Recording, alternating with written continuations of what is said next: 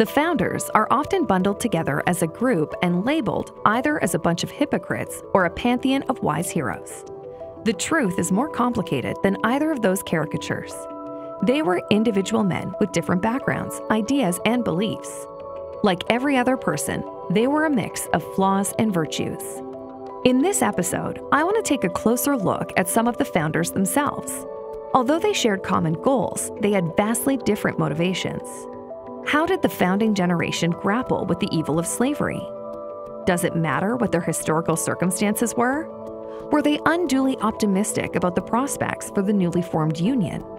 My guests for today are Professor Lynn Uzzell, who is an adjunct lecturer at the University of Virginia and a visiting assistant professor at Washington and Lee University, and Professor Gordon Wood, the Alva O. Way University professor and professor of history emeritus at Brown University.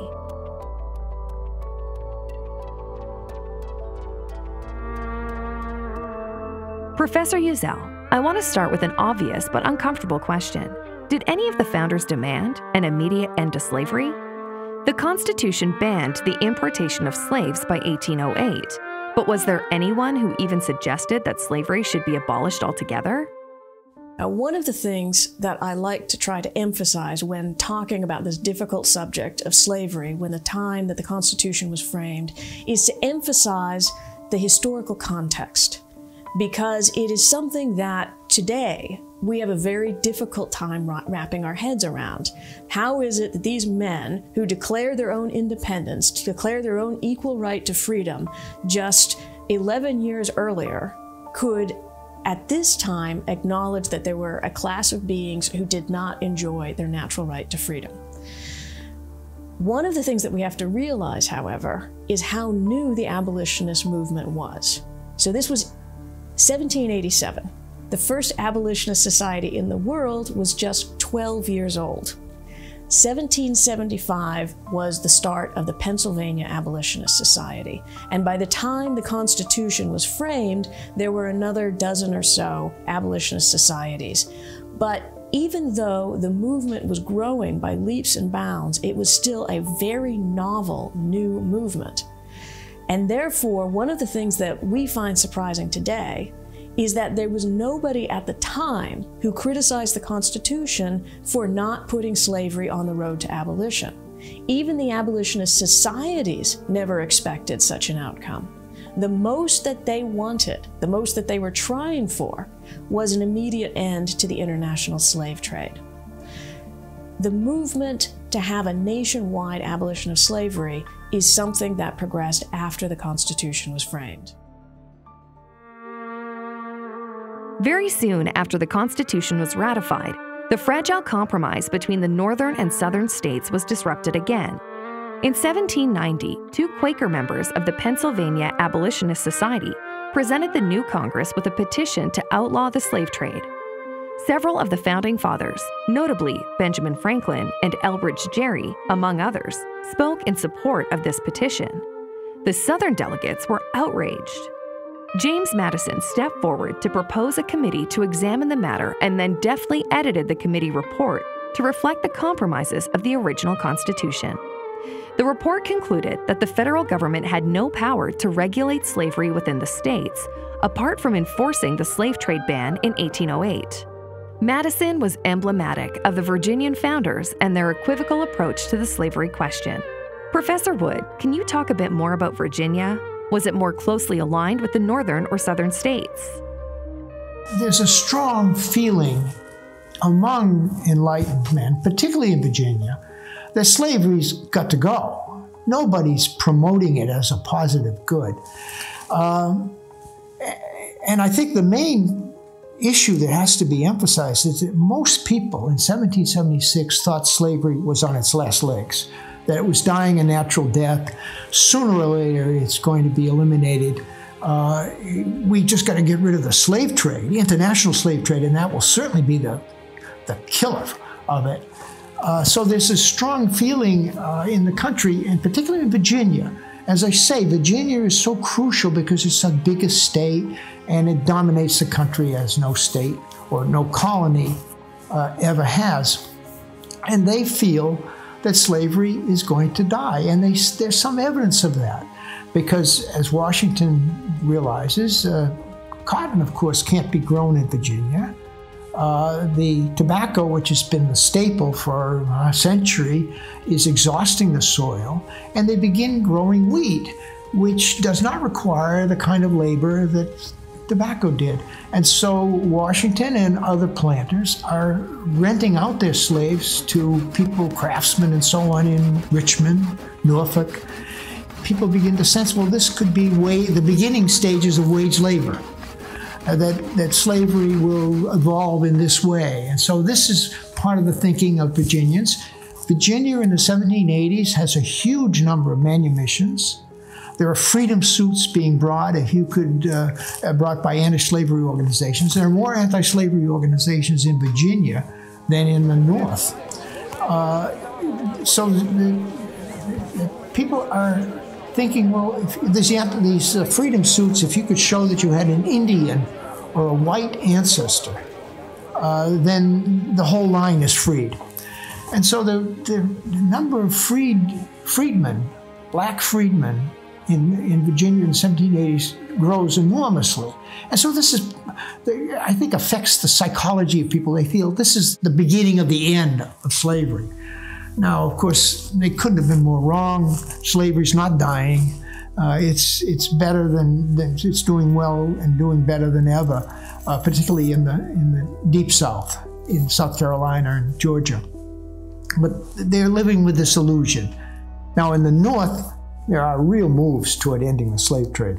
Right away, 70, 76 on, and by 1804, all the states in the North have, have abolished slavery legally. Now, this is the first anti slave movement in the history of the world. So we got to get that in context. Slavery had been taken for granted for thousands of years and existed everywhere, certainly in the New World and, and, and, certainly in Africa and, and Asia in, in, uh, in 1776. So the northern states are moving against slavery in a way that no other state ever had. And so it's a major uh, development. And as I say, Virginia is it seems to be moving in the same direction. In 1791, the College of William Mary, the trustees, the, the Board of Visitors, made up of rich slaveholding planters, give an honorary degree to Granville Sharp, who's the leading British abolitionist. Now, why would they do that? Uh, it gives you a sign. They, they were really living with the illusion that they are in the forefront of the abolition of slavery and they're endorsing it. Their endorsements don't always seem to line up with their actions, though. Thomas Jefferson, author of the Declaration of Independence, also proposed a bill banning slavery in the Western Territories, which was defeated by one vote. Yet, he himself didn't free his slaves. George Mason vehemently opposed the slave trade, but equally vehemently opposed any federal action against state slavery laws. How do we reconcile these things? So, when we consider this juxtaposition between slavery and the Declaration of Independence, what we have to wrap our heads around is the dreaded H word, hypocrisy. All right? The founders were, in this respect, hypocrites. The thing is, is that the founders at the time understood themselves to be hypocrites. What is hypocrisy but that you declare certain ideals and you fail to live up to them? They understood that. And they understood that they were laying themselves open to hypocrisy, like the uh, complaint of Samuel Johnson that why is it that we hear the loudest yelps for liberty among the drivers of Negroes, I think is what he said. And I think that if we can accept that this is what happens within political regimes, that even in our own time, at any political time, there is a people who fail to live up to their ideals, then this is the only way that we can legitimately confront this original sin of slavery. But hypocrisy has its bright side as well. When Patrick Henry was criticizing himself for owning slaves. What he said was, Can anybody imagine that I, you know, Mr. Give me liberty or give me death, am the owner of slaves of my own purchase? He says, I will not, I cannot defend it. I will so far pay my devoir to virtue, so far as to own the rectitude of her precepts, and lament my want of living up to them. Now, what he's referring to is that old maxim that hypocrisy is the homage, the devoir that vice pays to virtue. So he's calling himself a hypocrite. But as long as people grasp and are willing to accept that what they're doing is hypocrisy, then they have the option of eventually raising up their actions until they match their ideals. But it requires holding on to the ideals in the first place, those ideals that are instantiated within the Declaration of Independence. Something that is hard for us to understand is that slavery in many forms had been part of society for thousands of years. The Age of Enlightenment, during the lifetime of the founders, was the first time that societies began to really confront the immorality of slavery. Obviously, this was a difficult thing to do because it had massive implications. Before any action could be taken, people had to acknowledge that it was wrong to begin with. Some of the founders, such as Ben Franklin, James Wilson, Gouverneur Morris, and Benjamin Rush, had already reached this conclusion. Morris called slavery the curse of heaven in the states where it prevailed. Wilson said slavery was repugnant to natural law. Nonetheless, other founders were still struggling with how to think about slavery and what to do about it. Professor Wood, can you give us more insight on this?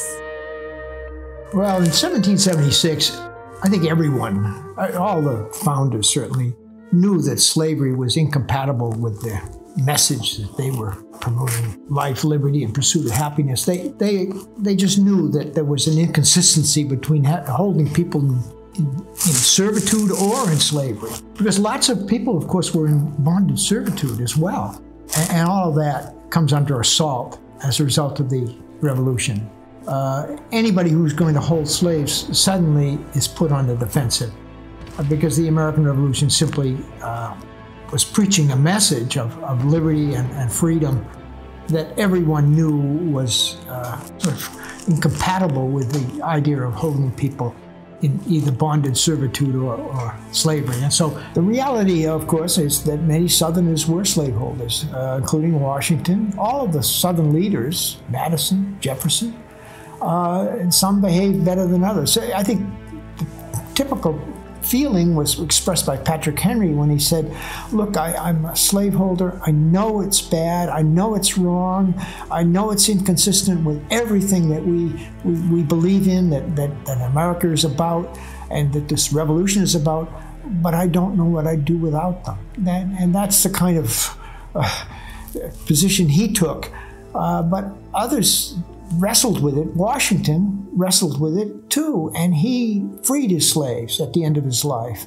Uh, it was important to him to do that. And he didn't just throw them out, he had provision for training them, uh, having them apprenticed, and, and uh, not thrown out without skills.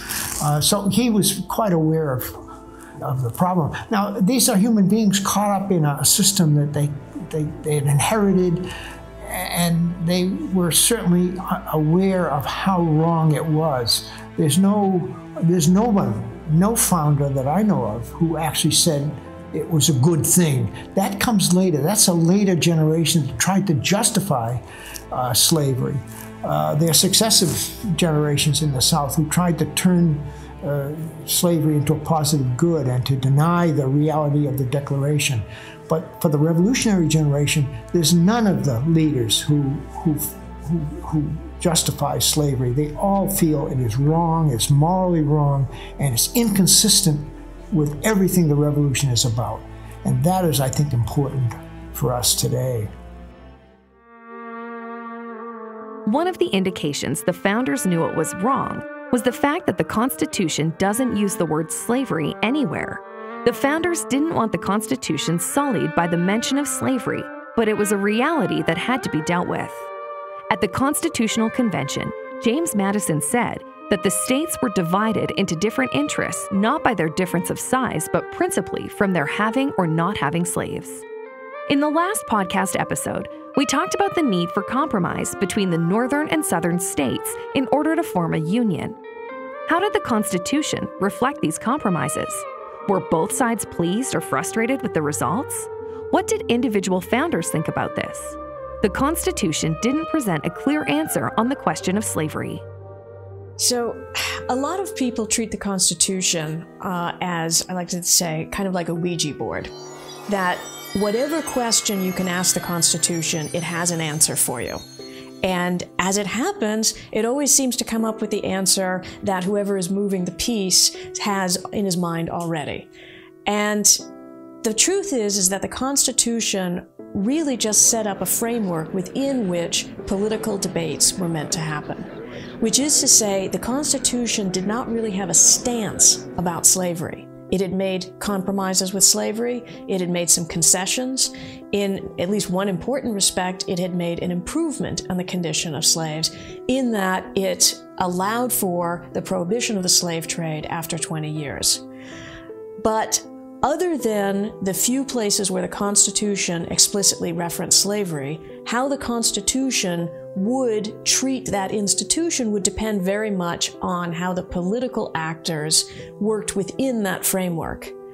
And within that framework, you had certain abolitionist activists who said there are parts of this Constitution we can use to further the cause of abolition.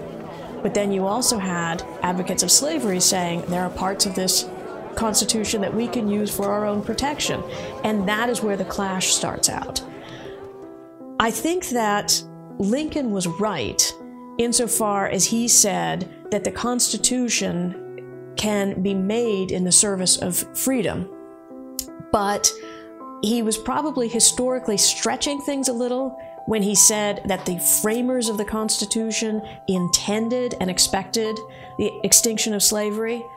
I believe that that is true of most of the framers, but there were 55 men there framing the Constitution, and they came from a variety of different backgrounds, including a few committed slaveholders in the Deep South, and some very conflicted, uncomfortable slaveholders in Virginia who did expect the ultimate ex extinction of slavery, but did not think it would happen for a long time.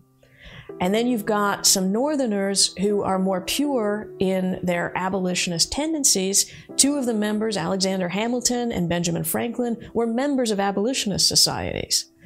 But they did not think that the framing of the Constitution was the place to push that agenda. Uh, they thought that it was a very fragile um, circumstance that they were encountering to get any kind of frame of government up and running at all. So you've got the compromises, you've got a lot of deflecting, you've got some members who clearly expected that slavery would be an, an imminent end. You've got Oliver Ellsworth, who looked at the progress that abolition had already been made just in the last 10 or 15 years, and he said, soon slavery is not going to be a speck in this country. Well, Ellsworth was from the North, and we all live in our own bubbles, and if he looked around his immediate surroundings, maybe he did believe that. But the Southern members knew that it was not going to be that easy. You've got James Wilson of Pennsylvania, who during the ratifying convention looked at the 20 year slave clause, the one that allowed for the elimination of the slave trade after 20 years. And he said that this clause was going to lay the foundation for the end of slavery throughout the country. Well, he was not being realistic. He was probably being sincere, but he was not being realistic. But you also have some members from the South who had no expectations whatsoever that slavery would come to an end. So, where that fight had to take place was under the rubric of the Constitution, and there were certain clauses that each side could use to further their own agenda. So, you've got figures such as Frederick Douglass, who did very good lawyerly work in manipulating the clauses of the Constitution, even those that favored the slave side, to say that no, these, these did not relate to slavery at all, these clauses. And he even interpreted the Three Fifths Clause as leaning towards freedom. Why? Well, if the southern states were to free their slaves, then they would get two fifths more in representation just by freeing their slaves. Therefore, it's an incentive to free their slaves. Well, that takes a bit of creative interpretation, but you could say that the free three fifths clause, for that reason, leaned towards freedom. But these are the ways that each side would use the Constitution to further their own cause. In 1786, George Washington wrote, I never mean, unless some particular circumstance should compel me to it, to possess another slave by purchase. It being among my first wishes to see some plan adopted by the legislature by which slavery in the country may be abolished by slow, sure, and imperceptible degrees. Washington hoped for a gradual abolition, but didn't champion any plan to make it happen. You mentioned James Wilson being sincere but not realistic. Does that description apply to other founders also? Despite the fact that many founders thought slavery was evil, they also seemed optimistic about it being a dying institution. Within just a few decades after the Constitution, slavery was clearly not going away. What happened? How could the founders have been so unduly optimistic? Many of the changes that took place were ideological. For instance, at the time that the Constitution was framed, there were very few people who would argue, certainly not argue on the national level, that slavery was a positive good. Later, over the years, members in the Deep South became more and more aggressive about arguing in favor of the institution of slavery itself. But there were other changes that also led to the South becoming more entrenched and more attached to the institution of slavery. And one of those changes was the invention of the cotton gin. Now, at the time of the framing of the Constitution, they were realizing that the big cash crop, which was which favored slavery, which was tobacco, was depleting the soil, that it had long-term economic ills, uh, and a lot of people believed that uh, that with greater technology, you might actually have less slavery. But what happened with the invention of the cotton gin is that all of a sudden this crop of cotton became so much more profitable because it, it became so much cheaper to manufacture cotton, cotton clothes uh, after the cotton was picked. And therefore, the slaves were seen as a great asset in furthering that uh, economic powerhouse.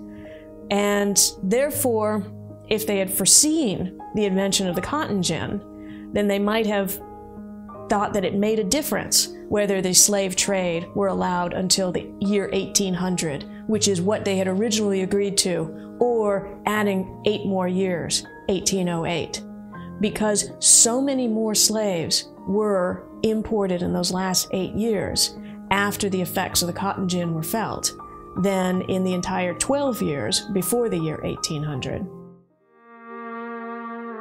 The tremendous growth in the enslaved population made emancipation an even more difficult problem. Already in 1790, the first United States Census showed that there were almost 700,000 slaves. Plans involving owner compensation would have been financially impossible, Relocating freed slaves or planning gradual abolition would have been a monumental task of enormous complexity. The founders didn't totally ignore the problem, but they couldn't find a consensus on how to address it. How does, or should, this affect our views on the founders? Yes, the fact that many of our most revered founders were slaveholders certainly does complicate and make difficult any reverence of the founding era. And I think the problem is, is once again, we have to embrace the idea that humans are fallible and that if we insist that our heroes are somehow also flawless, then we're not going to have any heroes left. So, in no way should we minimize the fault of owning slaves, but we also have to put this in historical context and realize that it is no great virtue to not own slaves today. It was a tremendous sacrifice for some people during the founding era. That disbanding one's, one's household of slaves is in many cases extremely difficult, extremely costly, and uh, a tremendous sacrifice. Now, that doesn't mean that they should have made that sacrifice anyway, but at the very minimum, we have to recognize how much of a sacrifice it was for those few people who did make that step. The Constitution doesn't deserve our allegiance or our rejection because it's a reflection of the personal founders. The founders knew that they and their fellow citizens were not perfect and not perfectible. The Union had to be built on principles and structures that could withstand the change of time and the flaws of individuals. But the problem of slavery couldn't be avoided for long. In the very next generation, the Constitution and the Union would be put to the ultimate test.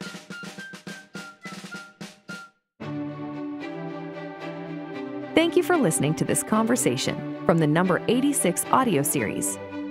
The spirit of debate animating the Federalist Papers in the founding era inspires all of the number 86 content, encouraging discussion and critical reflection relative to how each subject is widely understood and taught in law schools and among law students. Subscribe to the number 86 lecture series on your favorite podcast platform to have each episode delivered the moment it's released.